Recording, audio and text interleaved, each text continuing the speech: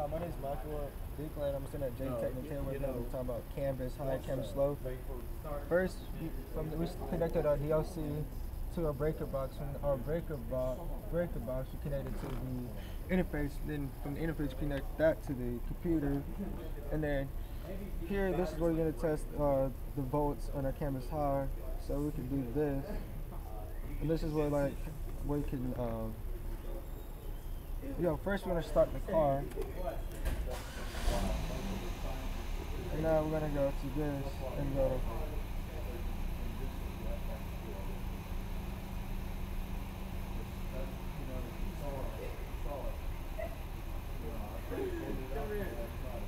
Video?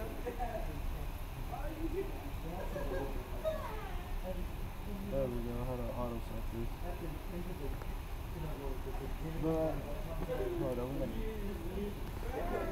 Yeah, this is what I'm telling you. This is the ways. This is showing you with the ABS, your uh, CPM, and everything like that is working.